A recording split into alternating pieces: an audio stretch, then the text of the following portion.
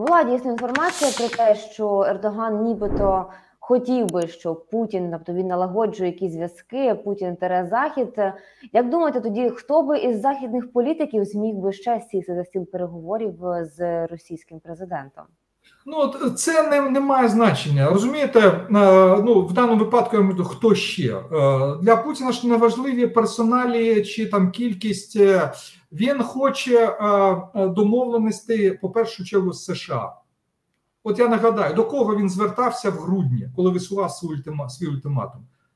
Навіть не до Європи, до США і до НАТО. Ну, йдеться про безпекові питання. Зараз він хоче домовлятися по тих же самих питаннях, насправді. Ну, плюс е, е, як закінчити війну в Україні? От нове питання. Але ті самі питання: там е, розширення НАТО, безпекові домовленості і так далі. Але зараз не йдеться про якийсь ультиматум. Все. Все, Путін не може висувати ультиматумів. Йдеться про пошук якихось компромісів. Але є питання, де компроміси просто неможливі. Ключове питання це Україна. Після того, що Путін зробив анексію чотирьох тимчасово окупованих е, регіонів України, які Путін, до речі, не повністю контролює, ні про які компроміси не може йти мова. От тут е, питання просто тупікове.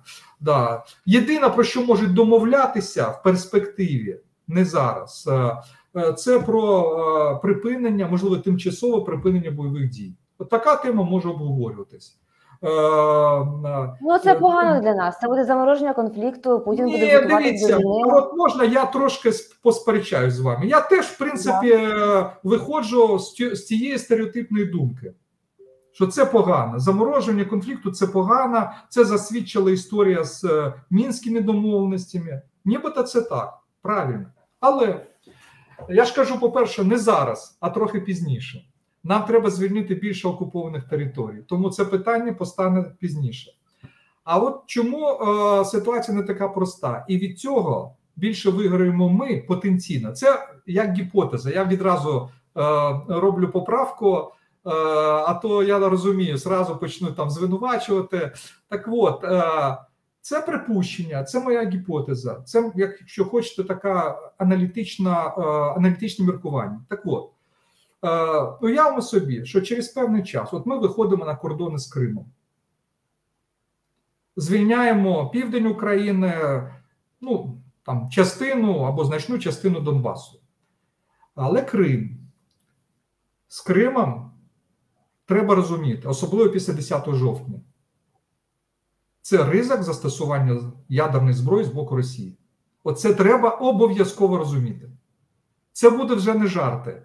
Е, це буде для Путіна останній аргумент. Е, він не може і не хоче виглядати програвшим, повністю остаточно програвшим. Це просто питання його життя і смерті, і в політичному, і в фізичному сенсі.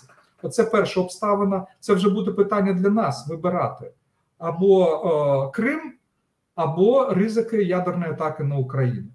І про це нам будуть казати наші партнери, що такий ризик існує. Але От це лише одна сторона питання, і тут є певна проблема для нас. А от зараз проблема для Росії.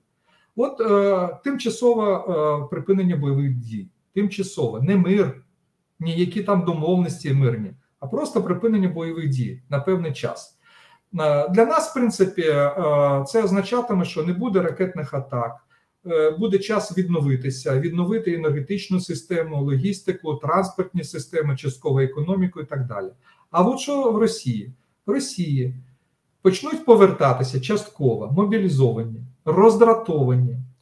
Роздратована партія війни з одного боку, з іншого боку, незадоволені аполітичні росіяни. Санкції ж ніхто не скасує. Вони будуть продовжуватися. Проблеми економічні і соціальні в Росії продовжаться незадоволені з одного боку, з іншого. Де перемога будуть питати у Путіна? Де денацифікація?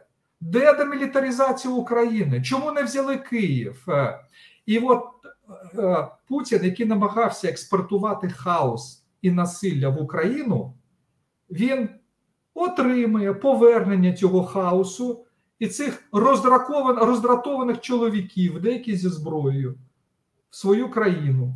А що такі люди, які повернулися з війни?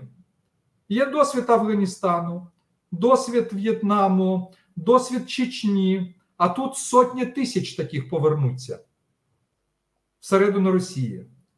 І це гарантоване, е, скажімо так, початок серйозних внутрішніх кризових тенденцій не тільки в Кремлі і навколо Кремля, а в самому російському суспільстві. Е, Як було от після афганської війни, ну там інші чинники були, так буде і в Росії. Тому цей сценарій не такий поганий, як виглядає зовні. Да, це ризик. В чому проблема цього сценарію? Це ризик е, відновлення війни. Це не мир остаточний. Да, і війна може відновитися на превеликий жаль. Але е, від цього е, не найкращого сценарію більше проблем може отримати Росія, ніж ми, não me importa.